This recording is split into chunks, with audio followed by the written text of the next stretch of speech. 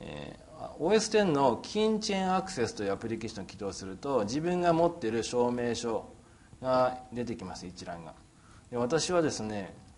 2つ証明書を入れていてそれぞれの証明書で転送するデバイスを分けてます。2種類持ってます。まあ、普通こういうことはないんですけども、あのー、アップルのデベロッパープログラム複数登録するとこうなったりします、私わざと作ってます。で、えー、一つの証明書が CMR ともう一つが FNR というなんか適当な文字でついてますよね。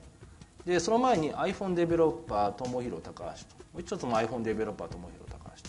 ついてます。で先ほど見た iPhone デベロッパーって文字列ここなんです。はい。で私の場合には2つあるんでどっち選ぼうかなっていうのをツールの方が勝手に決めてはくれません。なので私の場合この今日もここに手元にはないんですけども iPhone5S とかねに転送しようとした場合にこの証明書を使って転送できるはずだであればこの情報ミールを使ってですね、えー、この CMR なんとかなんとかっていうのを選んでコピーペーストして先ほどのツールオプションのプロビジョニング iOS デバイスでバックでここのところにデフォルトの文字列これだとあの2つあるから、えー、特定の証明書を使って証明するように、えー、10桁ぐらいの英数字を入力して OK をすると。もしくはあのデフォルトではその証明書を使ったんだけど場合によってはこのプロジェクトだけ違う証明書を使うという場合にはですねプロジェクトオプションの方の一番下にプロジョプロビジョニングというのがあります。この中でオーバーライドする値を指定すると。いう方法でもいいです、まあ、とにかくこのプロビジョニングで、えー、iPhone デベロッパー以外の値を設定する場合も、まあ、あるというわけですね、えー、注意が必要です。SDK マネージャーこれは Android の話なんですが Android の開発に関しては製品をインストールすると JDK Java の JDK と SDK NDK が自動的にインストールされます。自分が持っているものを使いたいという場合にはですね後で明示的に追加して、選択することも可能ですが大してそんなあの依存するようなことは特にないのであのどんな自由なですね SDK、NDK、JDK をですね使っていただいて結構です、まあ、おすすめはあの製品内蔵されてるものを使うのがいいでしょう。で最後です。フォームデザイナーデバイスマネージャーって何だろうなということですけどもこれは見ると分かります。新規にモバイルアプリケーションを作りますとデフォルトでは Nexus4 の画面。なかなか持ってらっしゃる方少ないと思うんですがここ Nexus4 ここにあります、はい、通常ですと自分が持ってるデバイスのサイズとかですね外観を使いたいと。まあ、ネクサスの7であれば皆さん皆さん結構持ってらっしゃると思いますが、えーまあ、何が最初に表示されるかあとは自分の好きなものを追加したらどうするかっていうことですね。でツールオプション点点点、選んでフォームデザイナーのデバイスマネージャーを選びます。この画面ねあの最初に Nexus4 が表示されたのはこれちょっと太字になってるからなんですね。でこれ Nexus7 に変えようともどうするかっていうとダブルクリックすると意味不明のこのデバイスは変更できませんとか出てくるんですけどこうじゃなくて右クリックしてデフォルトに設定って選びます。気づきにくいんですけど、はい、デフォルトに設定をします、はい、で追加っていうボタンはこれはですね自分の好きなデバイスの外観とかサイズというのを先ほどのプルダウンに追加する機能ですね。じゃあもう一度全て閉じてファイル新規作成モバイルアプリケーション。ってやると最初から Nexus7 が表示されるですね。毎回毎回 Nexus4 が表示されてこれ切り替えてると面倒くさいなと思った場合には先ほどのデバイスマネージャーのフォームデザイナーというのを変えてください、はい、もうちょっといきましょう、はい、プロジェクトグループですね、えー、皆さんご存知のようにプロジェクトをまとめるためのプロジェクトです。プロジェクトグループをまとめるグループっていうのはちょっとないのでグループグループでないです。プロジェクトをまとめるためのグループというのがあります。で基本的に上から順番にビルドしていきますのでプロジェクトマネージャー上部の順番というのを気を使ってくださいね、えー、まあ、構成例も載ってますけど、あのまあ、複数のその例えば Windows32 ビット64ビット OS10 のアプリケーションを1個のプロジェクトで賄ってもいいですし、えー、3つのプロジェクトに分割してプロジェクトグループとして管理して、えー、それぞれビルドするというのもいいです。特にその制約はありませんので、えー、3ついっぺんに作ったりとか3つバラバラにしたりとかっていうのは可能ですので適時考えて作ってくださいということですね。特にこの例えば iPhone と iPad を別々のプロジェクトにしたいということもあるでしょう。1個のプロジェクトで iPhone、iPad 両方対応するっていうのもいいです、えー、あとちょっとプロジェクトの構成を見てみましょう。では次はユニットです。プロジェクトの話が終わりましたので次ユニットの話に移ります。Delphi の場合は皆さんご存知のようにクラスや関数しか入ってない。本当にルーチンしか入ってないですね。ユニットっていうのがあります。もう一つの場合は、えー、フォームデザイナーを使ってデザインするフォームというユニットですね。拡張子は .fmx っていうこのファイルの中にフォームのデザイン情報などが格納されております。で先ほど説明したデータモジュールですね。皆さん昔からあるんだけど使ってない方いっぱいいると。データモジュールなんですが拡張子は DFM というものになります。画面関係ないのでね昔からあるその拡張子 DFM を使って VCL アプリケーションと FireMonkey アプリケーションで共有できるようにもなっております。でデータモジュールというのは画面上に、えー、なんかアイコンドラッグアンドオプションを置けたりするクラスもあるしルーチも書けるんですが GUI コンポーネントは置けないというそういうクラスになっております。でいっぱいフォームとかですねユニットなどを作っていくと今度気になってくるのがどのフォームが最初に表示されるかとかですね。どのフォームのインスタンスが自動で生成されるかっていうプロジェクトオプションの、えー、フォームという場、えー、ですねプロジェクトオプションのフォームという場所がですね、えー、関係してきます。まずここに選べるメインフォームというのは最初に表示されるフォーム。えー、次の自動生成フォームというのはそのユニットのインスタンスっていうのをアプリケーション起動時にグローバル変数に1個作ってしまうという設定ですね、はい、ここが重要です。例えば新規作成 VCL フォームアプリケーション。さらにフォームを作って2つ作りました。でプロジェクトオプションを除きましょう。フォームって選ぶとメインフォームがフォーム1フォームにも選べるフォーム1になっていまして自動生成フォームが12と選ばれていると。どこから来てるかってことですね。これプロジェクトの右クリックしてソース表示をするとアプリケーションのスタート地点が出てきます。でこのソースコードを見て、えー、先ほどのプロジェクトオプションが表示されてます。ちょっとやってみましょうか。逆に、はい、フォーム1フォーム2って逆にしました。でフォームってやるとメインフォームが切り替わっていて、え自動生成フォームの順番も変わってると。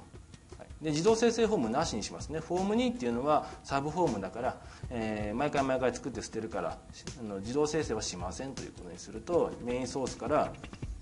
フォーム2の生成コードが消えるというわけですね、まあ、ただしですねユニットの方には先ほど見たフォーム2のグローバル変数は残ってますので間違いがあってこれ使っちゃうこともあるでしょう、まあ、デバッグとかでテストすればすぐアクセスバイレーションが出たりしますからすぐ分かるんですけどもこうやって消してもコメンターとしてですね消してもいいかなとは思います。予期せぬ事態を防ぐためですね。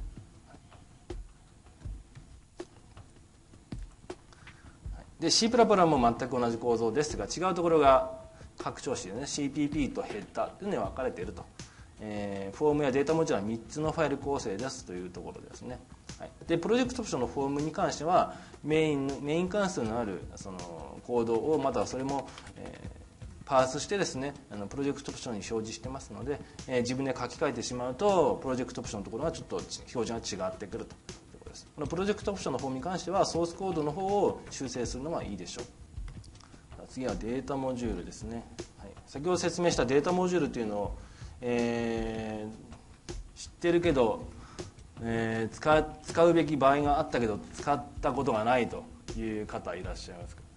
あ皆さん使ってらっしゃるんですね。素晴らしいです。私はたまたまですかね。私が訪問した先では結構データ文字使われてなかったりしますんで、えー、今日皆さんはですね非常に優秀だということだと思います。あの皆さんデータモジュールというのはあの自由に依存しない機能をカプセル化するというものです。まあ、そこの中にですねできるだけ FireMonkey とか VCL とか、えー、GUI のイベントとかですねに依存しないコードを書いてくださいということです、まあ、おかげでですねあの重要コンポーネントは配置できないようになっています。で嬉しいのはこの複数のプロジェクト間で共有できます。ソースコードとかユニットをコピーして共有するんじゃなくてそのままフォルダー丸ごとコピーし、えー、ユニット丸ごと共有するという形ができますので非常に便利ですね。で必要があれば IFDEF とか使って OS プラットフォーム依存のコードを書き分けることも可能です、はい、では残り時間ちょっと少ないですけども使い方作り方を見ていきましょう。まずですね新規作成。デスクトップアプリケーションからいきましょう。FireMonkey のデスクトップアプリケーションのフォルダを作っていきます。テストフォルダにデスクトップを作りますね、はい、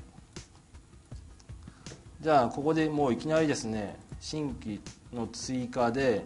その他ユニットでもいいですけどその他データモジュールなどを使ってみましょうか。ベルファイのファイル。データモジュール。置きます。ユニット2って名前になりました。でこれを保存するんですが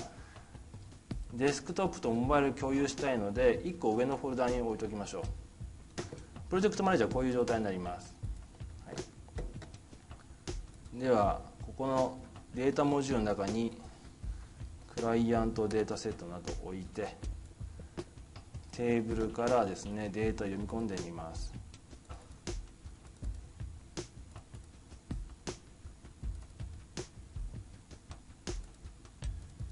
はい。まあこれが例えばデータベースだと思ってください。ね、で画面中に例えばリストボックスを置きますよ。リストビューでもいいです。置いて。先ほどのデータモジュールですね、まあ、最終的にはモバイルからも利用されるデータモジュールを使いたいという場合にはユニットを使うというのを選んで右クリックでですねビジュアルにバインドって選ぶんです。そうすると画面中に先ほどのデータモジュールの中のデータソースが見えてきます。でカテゴリーを例えばヘッダーに設定して名前を文字列に設定して、まあ、こんなふうにデータモジュールは共有されるもの自由に関係するところはそのアプリケーションのフォームのデザイナーで設定するという形になります。でターゲットプラットフォームに Windows32 ビット、Windows64 ビット、OS10 が選べます。3つ追加してこれでデスクトップアプリケーション一応完成と。ちょっと動かしてみましょう。動きましたね。次です。プロジェクトグループというのを先ほど説明しました。プロジェクトグループに名前を付けて保存をします。で1個上のフォルダテストフォルダーにプロジェクトグループを保存して今度は新規プロジェクト追加でモバイルアプリケーションにしましょう。で FireMonkey モバイルアプリケーション。からのアプリケーション。さあ Nexus4 にしましょうか。で保存します。えーとテストフォルダーの今度はモバイルっていうフォルダにモバイルアプリケーションのプロジェクトを保存します。2つ目のプロジェクトにですね先ほど作ったデータモジュールを追加してみます。1個上のフォルダにあるユニット2っていうユニットを追加しました、まあ、こうなってますね、はい、先ほど同様に画面中にリストビューを置いてユニットを使うですね。データモジュールを使うっていう設定を行って右クリックでバインドします。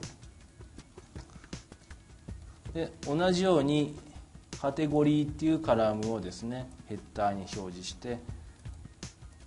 種の名前をテキストに表示してでこれで完成と。ですね。こういうふうにデータモジュールというのは共有できます。でフォルダをですねあの共有することでですねユニット、まあ、勝手にそのフォルダ丸ごと共有ってわけじゃなくてその特定のユニットをプロジェクトで共有するという設定ができます。ターゲットプラットフォームを例えばシミュレーターに切り替えて実行するわけですね。はい、シミュレーター。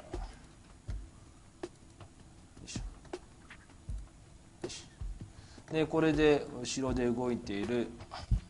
先ほどの説明した PA サーバーですね。プラットフォームアシスタントサーバーを使って Mac 経由で、えー、Windows の方から iOS7 のアプリケーショ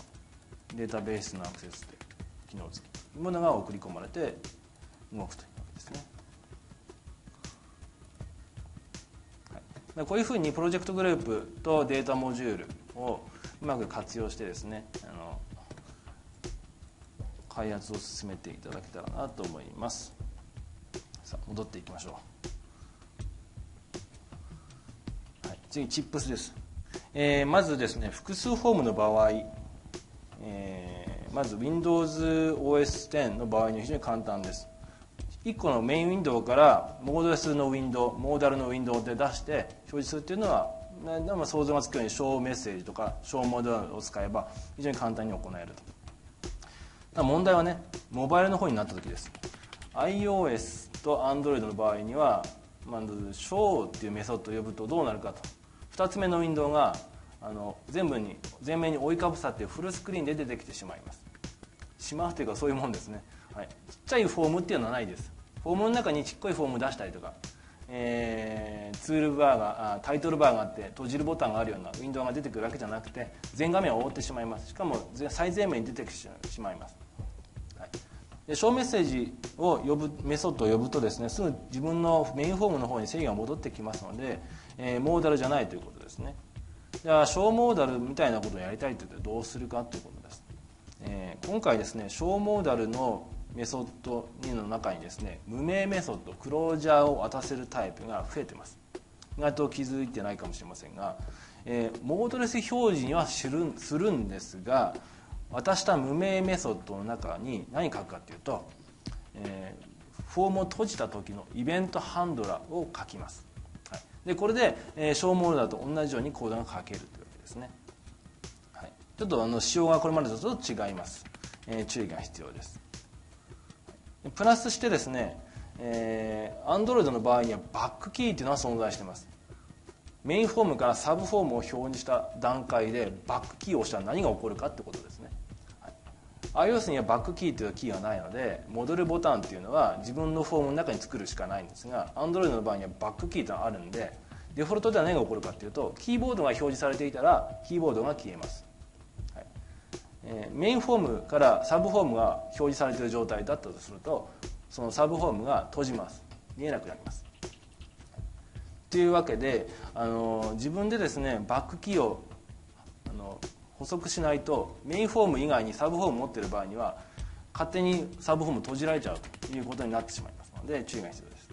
どうするかってことですね、えー、必ずですねオンキーアップイベントを使って戻るボタンが押されたかどうかを Android の場合だけチェックしてください、ね。まあ、かなりチェックすることになると思います、はい、で IfDef でですね Android の時だけと、まあ、IfDef 書かなくても iOS の時にはこのバックキーがないのでこの if 文を取ることはないんですけども改めて書けば IfDef Android の時だけこのバックキーが押されたら画面をうにゃうにゃしてるといろいろやってですね最後にこの押されたキーの値に0を入れると。何も押されてないよっていう設定をすると、えー、自分でバックキーの処理をかけるようになります、はい。まあ、画面を閉じなくするとか閉じたりとか、えー、キーボードが表示されてたらキーボードを消すという処理を自分で書くことになるわけですね、はい、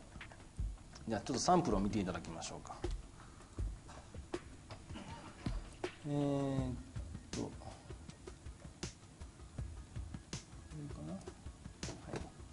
これメインフォームでございます、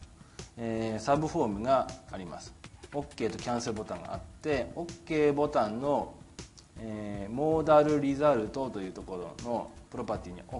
OKMROK が入ってます。OK ボタンってことですね、えー、キャンセルボタンの方のモーダルリザルトには MR キャンセルというのが入ってます。でこれを押すとイベントハンドラーが書いてありまして画面が閉じられるとまあ、基本的にモーダルモーダルモーダルフォームとして表示しようっていうわけですね。モーダルリザルトを使ってるってこと。でメイン4の方を見てみましょうか。先ほど説明した新しい小モーダルが書いてあります。フォーム2サブフォームの自動生成されたサブフォームフォーム2の ShowModal を呼びますがこの引数にこういうクロージャー無名メソッドのブロックを書くんですね、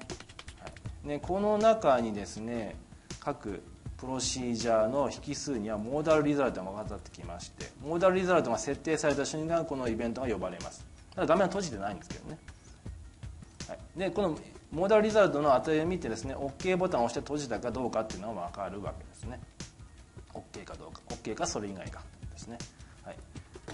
一方ですねそのサブフォームの方は OnKeyUp でハードウェアのバックキーを見てます、はい、戻るキーが押されたらキャンセルボタンと同じように OK ボタンを押して閉じたわけじゃなくて戻るキーでキャンセルしたってことなのでモーダルリザルトに MR キャンセルを入れて自分を閉じて、えー、キーが押されなかったことにすると、こういうふうに、えー、 OnKeyUp を使ってハードウェアバックキーをオーバーライドするという処理が必要。でこれでモーダルフォームができると。ではじゃあちょっと試しにやってみましょうか。IS シミュレーターですね。実行してみます。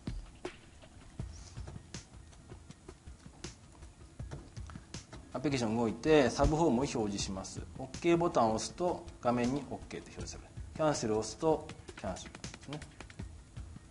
でここで戻るキーがないのでないですね。戻るキーってないですよね、はい。まあ、OK かキャンセルかどっちか押すしかないということです。でこれが iOS で Android の方をやってみましょうか。ターゲットをですね Android に切り替えて今つながってるのは Nexus4 になります。リリースに切り替えましょうか。で Windows 上で Android アプリケーションをビルドします。で Windows 上でアプリケーションを、えー、パッケージ化してしまって最終的には USB ケーブルですね。ここにつながっている Nexus4 に転送されます。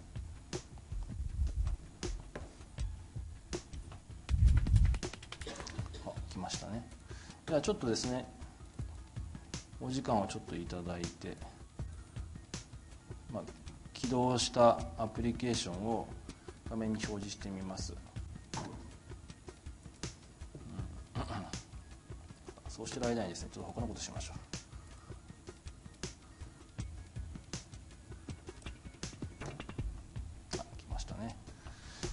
はい。えー、っとですね、今この Nexus4 上に先ほど作ったアプリケーションが表示されてまして今メインフォームが出ています。ですかね。はい。あメインフォームですね。で今からこのボタンを押します、え、まずは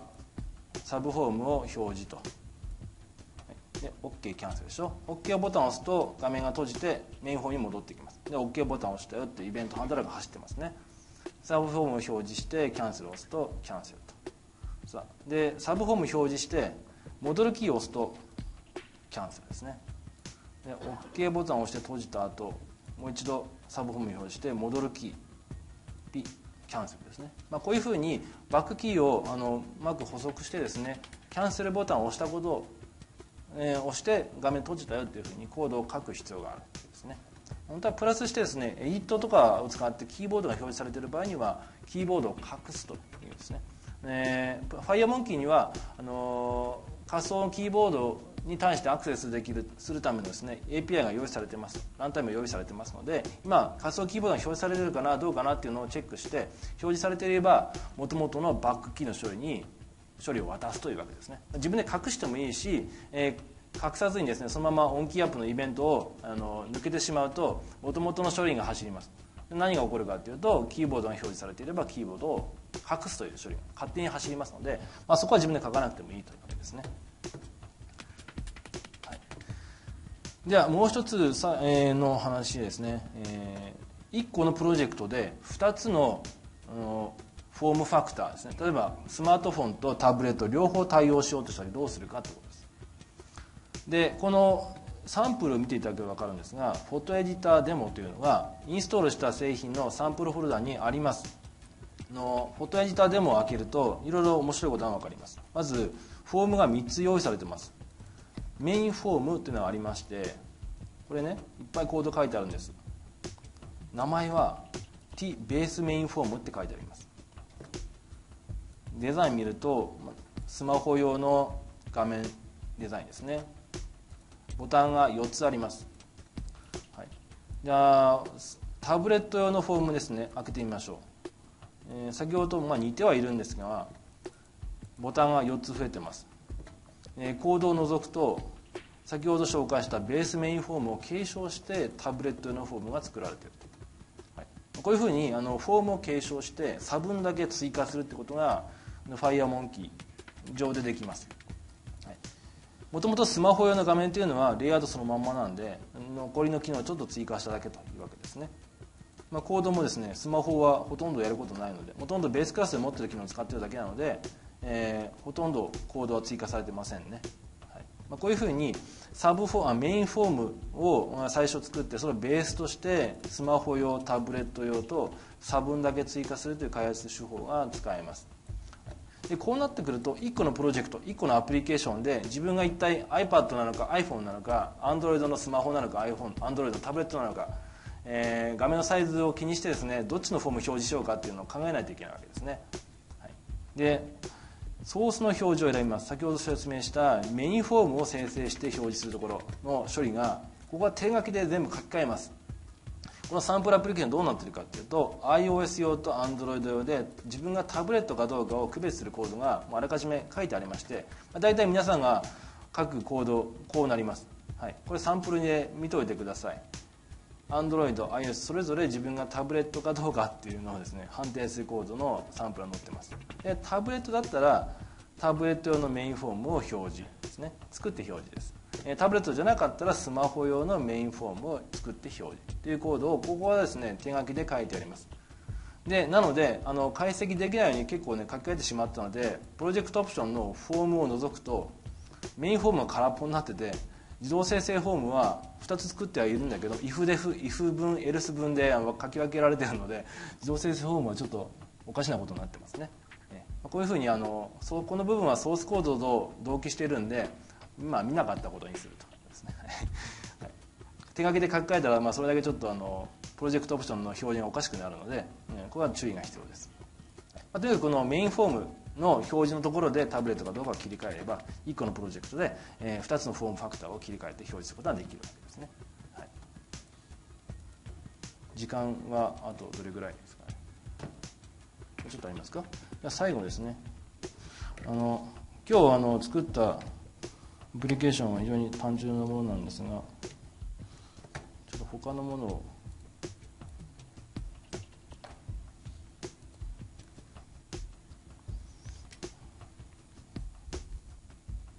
時間があれば。はい。あのですねあの FireMonkey を使ってアプリケーションを作ると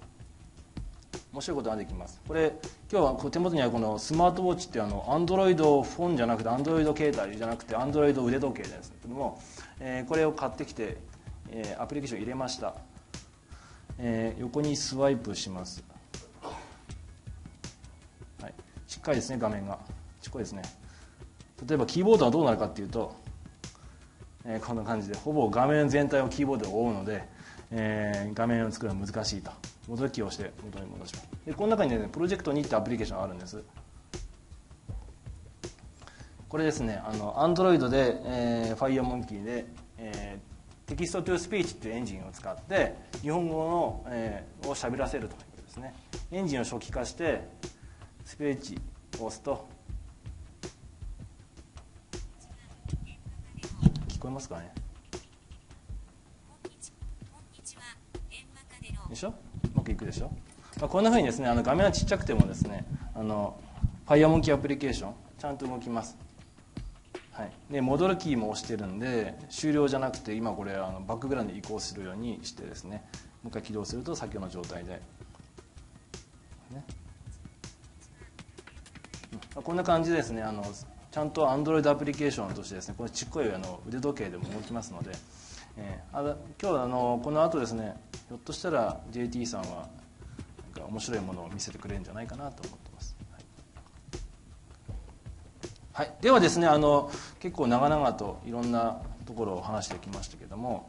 基本的には一つのプロジェクトで複数のプラットフォーム対応してもいいし1個のプロジェクトを3つ作ってですね3つのプロジェクトに分けてプラットフォームごとにプロジェクトグループとして管理してかつデータモジュールを使って共有してで場合によってはフォームを継承してスマホ用のフォーム、えタブレットの用フォームを別々に作ってもいいと。差分だけ追加してもいいしと。いうことですね。で今日見たようにこのちっこい腕時計みたいなこのすごい狭い画面もありますのでキーボードを使って文字列を入力するようなことは不可能に近いので本当あのつまりで押さないとキーボード押せませんので、えーまあ、そういう時も考えてですねあの UI を、え、考慮する必要があるというわけですね。ではですね今日のあのセッションはこれで以上になります。どうもありがとうございました。